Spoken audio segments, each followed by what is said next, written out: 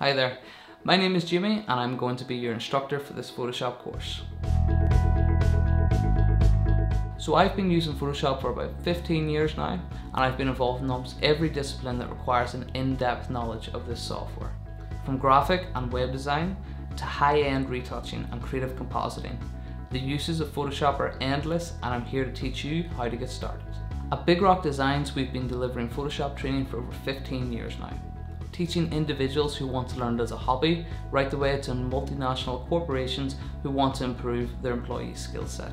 With that in mind, this course has been designed for beginners, so don't panic if you're completely new to this, you don't need to have any previous knowledge in photography, graphics or design. This is a project-based course, and like any new skill, it's important to learn the fundamentals. I'm going to take you step by step through everything you need to know in order to use Photoshop practically in a real world setting and the best practice industry techniques that you can utilize in order to save time and resources. Photoshop can be used for a variety of purposes and many of the tools that you learn in this course can be applied in multiple areas. I'll teach you how to select and cut out objects easily, remove and replace backgrounds, change colors of individual elements, distort, transform and manipulate images, and much more. You'll also learn how to add text, how to use a mask to hide or reveal parts of your image, and the basics of retouching and restoration.